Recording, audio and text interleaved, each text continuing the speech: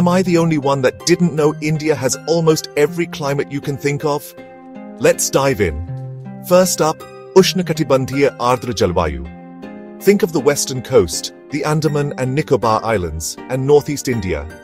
Expect heavy rainfall, hot weather, and high humidity. Next, Ushnakatibandhiya Shushk Jalvayu. Rajasthan, Gujarat, and parts of Haryana. Less rainfall, scorching heat, and desert landscapes define these areas.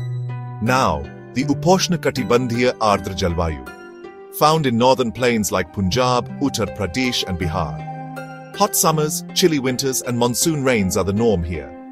Let's climb to the Parvatiya Jalvayu. The Himalayan region has varied climates based on altitude, but expect colder temperatures and snowfall. Finally, Samshitoshna Jalvayu.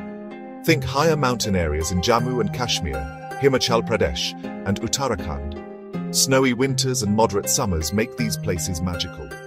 So, next time someone says India, remember it's a land of climatic diversity. Stay curious.